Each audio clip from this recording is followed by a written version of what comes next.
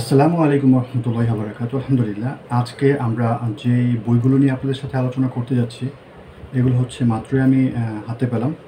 বইগুলো আমি অর্ডার করেছিলাম অনেক দিন আগে আপনারা এর আগে যে বইয়ের পরিচয় পর্ব দেখেছিলেন আমাদের এখানে সেখানে তখনই আমি আসলে এই বইগুলো অর্ডার করেছিলাম। আজকে প্রথমে আমাদের কাছে যেই বইটি আছে, সেই বইটি হচ্ছে কেন এই অধপতন এই বইটি? এই বইটি লিখেছেন মোহাম্মদ কুতুব এটি হচ্ছে গিয়ে কেন এই অধপতন, উম্মার অধপতনের ইতিহাস ও করণীয়? বইটি অনুবাদ করেছেন ইফতেকার সিফাত হাফিজাহুল্লাহ এবং এই বইটি প্রকাশিত হয়েছে রোহামা পাবলিকেশন থেকে। রোহামা পাবলিকেশন থেকে এই বইটি মাত্রই প্রকাশিত হয়েছে, সম্ভবত দুই থেকে তিন দিন হয়েছে এটা প্রকাশ হয়েছে। অ্যান্ড এটার মুদ্রিত মূল্য রোহামাতে লেখা আছে পাঁচশত আঠাশ টাকা।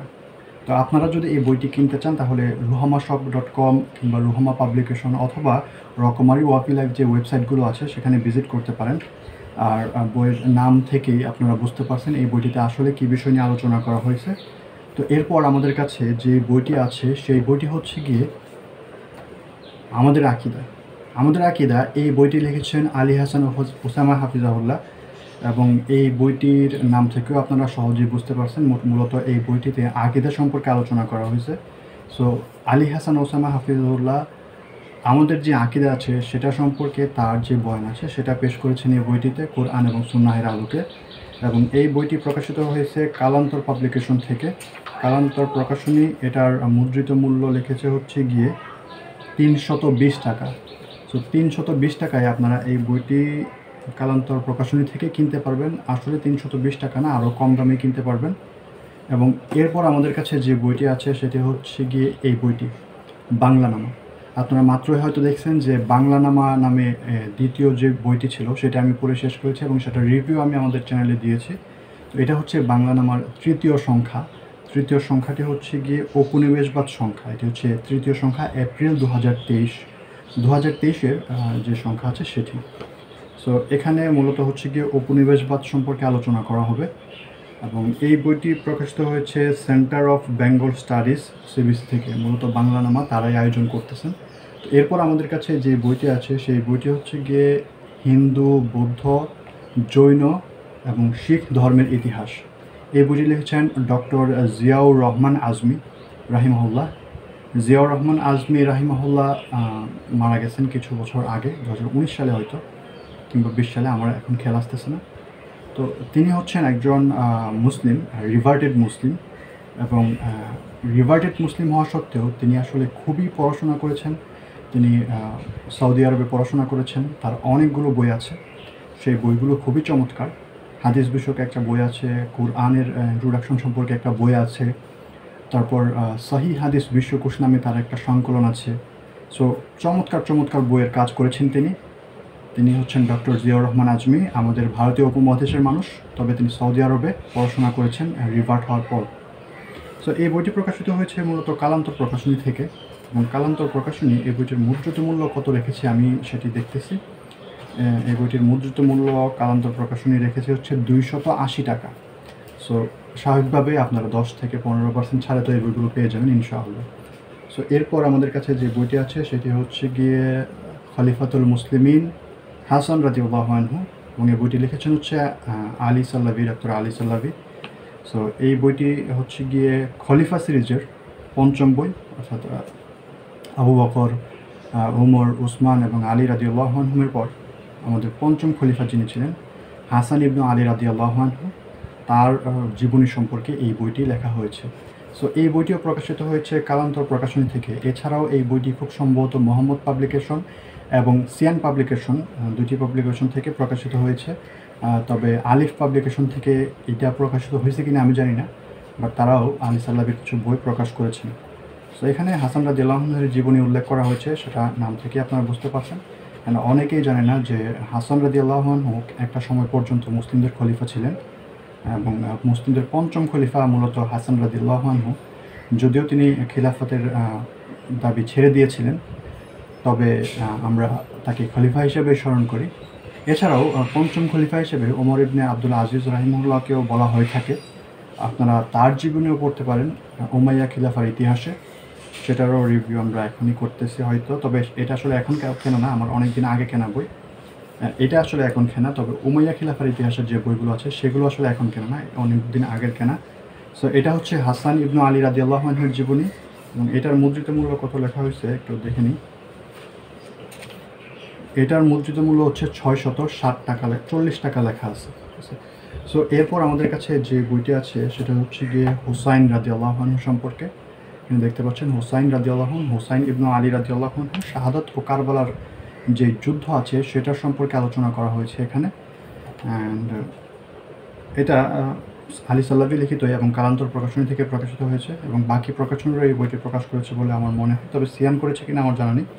এবং এই বইটার মুদ্রিত মূল্য হচ্ছে দুইশত টাকা। সো এই বইটাতে মূলত হুসাইন রাজিউল্লাহনের প্রাথমিক পরিচয় দেওয়ার পরে কারবালার ঘটনা আলোচনা করা হয়েছে। আমার কাছে মনে হয়েছে যে এটা আসলে খুবই শর্ট হয়ে গেছে হুসাইন রাজিউল্লাহন সম্পর্কে জানার জন্য। আমার আসলে জানা নেই যে আরও বড় হুসাইন রাজিউল্লাহর জীবনে আছে কিনা, কারণ এটা ছাড়া আমি আসলে তেমন একটা পাই নাই। সো হুসাইন রাজিউল্লাহনের জীবনী জানার জন্য এটা আমার কাছে খুবই চমৎকার এবং গ্রহণযোগ্য মনে হয়েছে। এরপর আমাদের কাছে যে বইটি আছে সেটি হচ্ছে গিয়ে এই বইটি। গোলমেলে তাকদির, এই বইটি, এটি লিখেছেন হচ্ছে ওমর সুলাইমান আলাস্কার তো এই বইটি ওমর সুলাইমান আলাস্কারের আমরা তিন চারটা বইয়ের ভিডিও করেছিলাম, জান্নাত, জাহান্নাম এবং আরও একটা বই ছিল, আমার ঠিক নাম খেয়াল নেই। সো তিনটা বইয়ের সম্ভবত আমরা রিভিউয়ের আগে করেছি। সো তার আরও একটা বই হচ্ছে ওমর গোলমেলে তাকদির অনুবাদ হয়েছে। সো এটা মূলত হচ্ছে তার আকিদা সিরিজের তাকদের বিষয়ক যে আকিদার বর্ণনা আছে, সেটাই হচ্ছে এই বইটাতে আলোচনা হয়েছে এবং এটার অনুবাদ করেছেন হচ্ছে ইমরান হেলাল। প্রকাশিত হয়েছে ইলহাম পাবলিকেশন থেকে এবং এইটার মুদ্রিত মূল্য কত রাখা হয়েছে? এটার মুদ্রিত মূল্য রাখা হয়েছে হচ্ছে গিয়ে দুইশত টাকা। সো স্বাভাবিকভাবে দুই দুইশত টাকা থেকে আরও অনেক কম দামে আপনারা পেয়ে যাবেন এই বইটি। তো এই হচ্ছে সবগুলো বই। এছাড়াও আমার কাছে একটা ছোট গিফট এসেছে মোল্লার বই দেখে। এটা হচ্ছে তাবলেগের ফাজাইল এবং আরও হচ্ছে গিফট এসেছে চারটা এখানে বুকমার্ক আছে। বইয়ের ভেতরে আছে কিনা জানি না, কারণ এর আগের বার যতগুলো ছিল এছাড়াও বইয়ের ভিতরে আরও কিছু বুকমার্ক ছিল। তো এই হচ্ছে মোট আজকের যে বইগুলো আছে এগুলো। এছাড়াও আপনারা যারা হাসান হুসাইন এবং রাজিউল্লাহনদের জীবনী সম্পর্কে জানতে চান, তাদের জন্য আমার কাছে উমাইয়া সিরিজের পাঁচটি বই আছে। তবে পাঁচটি কিংবা ছয়টি বই আমার খেয়াল নেই।